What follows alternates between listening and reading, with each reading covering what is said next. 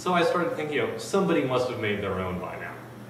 Uh, without, you know, access to a bending brake and all that nice stuff. So I, I looked around a bit. I found one guy who'd cut up, uh, he'd taken a milk crate, cut all the sides off of it, and then tied them back together. A lot of people said that they used uh, just strips of carpet, you know, just people roll a carpet in the bed of the pickup and throw it under the wheels when it gets stuck. Well, my dad's rig got stuck the other day, and we actually had some old carpet, so we tried that, and it just threw the carpet gracefully out the front end, just like mine did with the cardboard.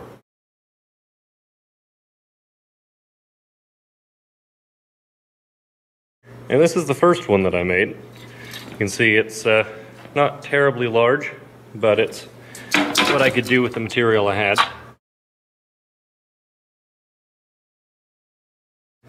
This is going to be the heart and soul of the project. It's an old bed frame, it's fairly thick. Uh, this is only one side of it, I've already used the other side. Okay, so I've taken my uh, piece of bed frame here, and I stuck it to the plow of the Scout with a couple pairs of vice grips. So that won't go anywhere. What I'm going to do now is I'm going to get rid of these little rivets here. Uh, these rivets hold the wheels on, hold these little bits on. I'm going to keep those bits, but I'm not going to use them on this project.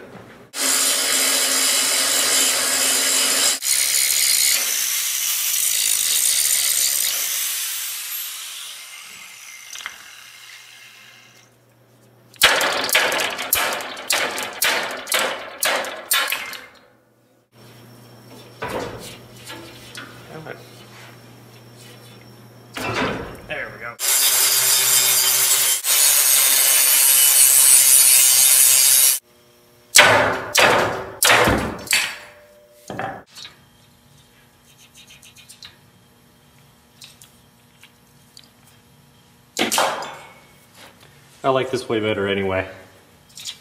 You get a much more precise line.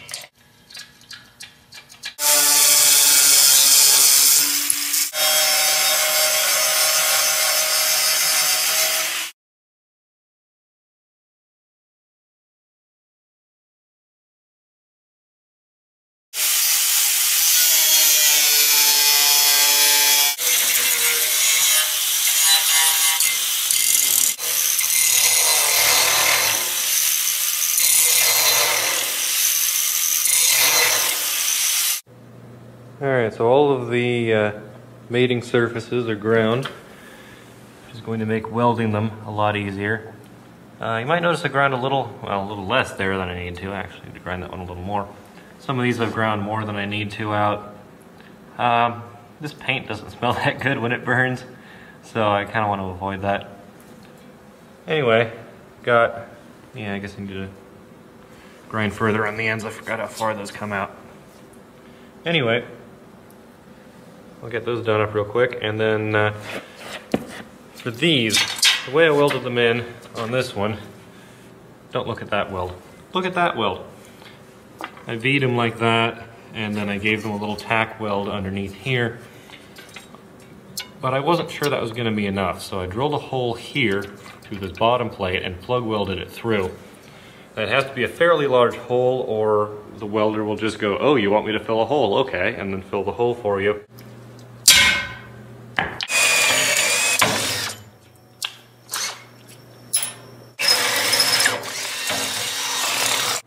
Yeah, I don't have a workbench together yet, so this is a table.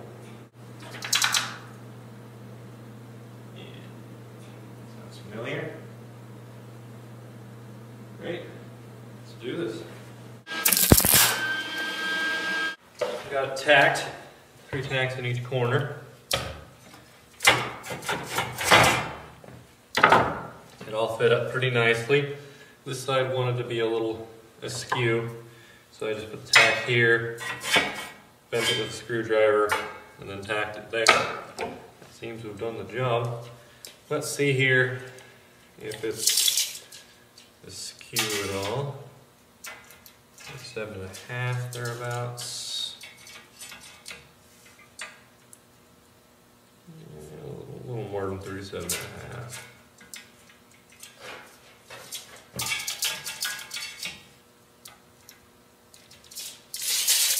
Close enough.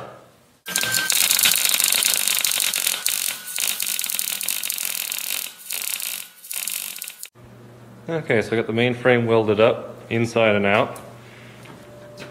Welding everything on both sides is probably overkill, but overkill's underrated and I need the practice. All right, I've got the uh, crossbars mocked up here. Basically just uh, clean edges visible through the middles of the holes. Assuming the holes are roughly correct, there should be space pretty much right.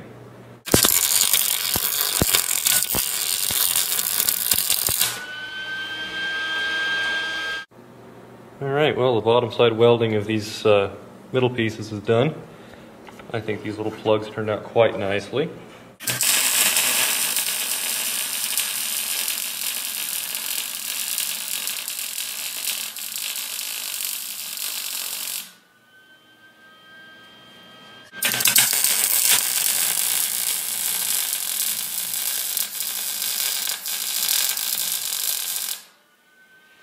The next step for this is to drill holes in it so that it accepts the slats. I'm gonna cut the slats out of pallet board. I've got these two already cut. I'm gonna pry one of these up and cut it. Anyway, you could use um, stuff other than wood, of course, for this. I was thinking a piece of milk crate might work. You'd have to make it a little narrower, I think, so it would fit. You could probably just take some rebar scraps, just sorta, and they wouldn't even have to really go to the end. Yeah, yeah it's too short. But just kind of weld them in there like that.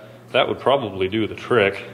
Um, I imagine they're heavier than the wood, but they also won't get snow packed on top of them like the wood might. And you can see I've got these bolts in here. I figured this, especially once it got some snow and ice packed on it, it'll be just about useless for traction, so these bolts ought to do something.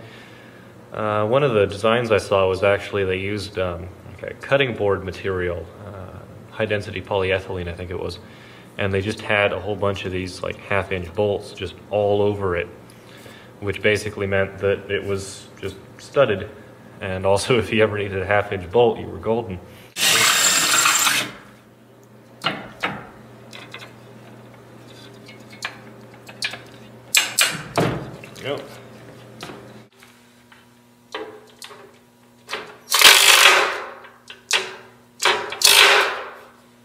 All right, so here's the finished project product, uh, both of them mounted to the roof rack. And I just got to throw the roof rack back on the truck. Well, I've identified one shortcoming with the design. Um, they get covered in snow up here.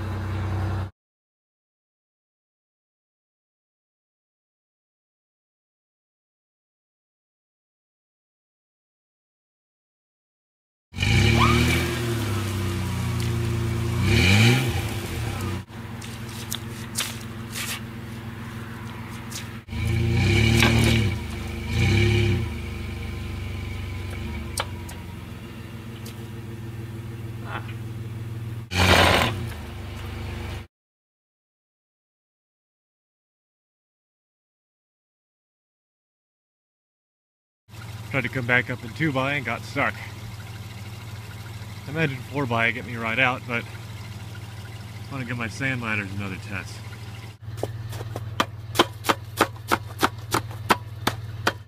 Alright. See how this goes. See if I can hold a camera and drive at the same time.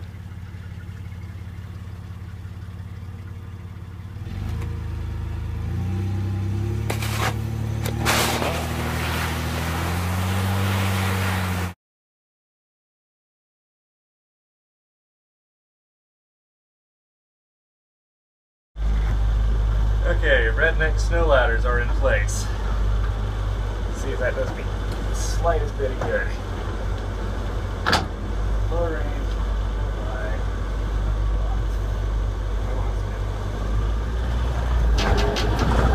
Ah, ah, yes.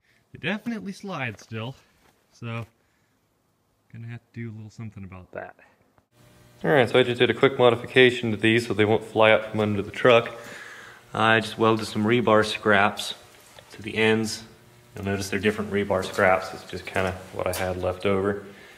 But um, yeah, I haven't cleaned these up at all, or painted them. They're still warm, matter of fact.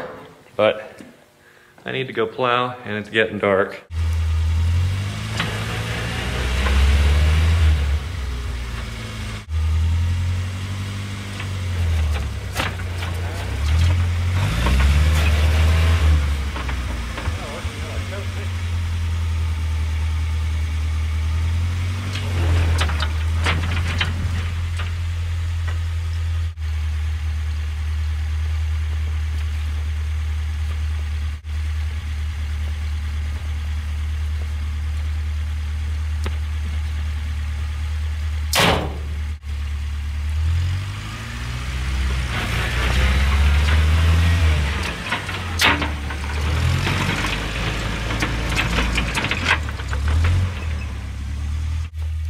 I'm gonna call that it got me out.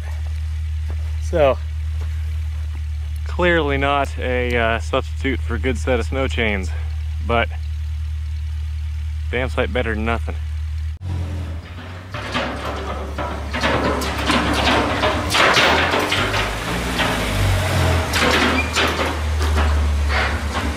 This is kind of a fun project. I didn't know, I mean, I figured it would work, but I wasn't sure when I started. And uh, the early results were less than encouraging.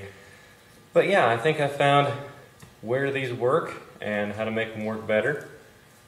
And uh, yeah, I've been able to get the Pathfinder stuck in the driveway since we put the snow tires on it, so I think these are uh, much better suited to the Scout. They've uh, bailed me out a couple of times so far with the Scout, when otherwise I probably would have, I don't know, been throwing stuff under the tires again. These are just really nice to have around, and I'm really happy with them.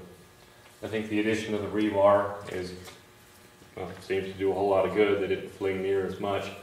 They still flung a little bit, so I might add some more, or I might add something with a little more bite to it. I was looking at those uh, little bracket things that I took off and thinking I could weld them on sideways. I might still do that. A few things that I would change about my design if I were to make it over again. Uh, I, I wouldn't use the wood. You know, it was just, it seemed like it would be a lot cheaper and easier, and I guess it was cheaper because I had it, but drilling all of those holes in the metal was a real pain. And, you know, if you got a, a drill press or something, it might be worth it, but it would have been so much faster to just clean it up and weld the rebar scraps in, or to get more bed frame. And uh, they'd also be a lot more useful if they were another couple feet long, or even just another foot long.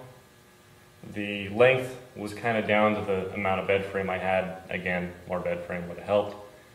So yeah, if you're gonna make a set of these, get more bed frame, or if you're buying proper materials to do this, then just buy more materials than I had to work with. And then, yeah, they should work. So, do they work as well as the 150 to 200 dollar set ones? I don't know. I haven't tried those ones. I assume they don't. But they also didn't cost me between 150 and 200 dollars. So, I think I did pretty well here.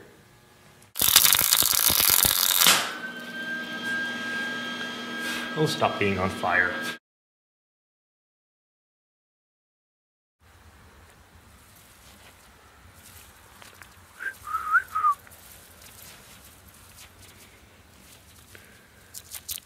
Where'd you go, bunny rabbit?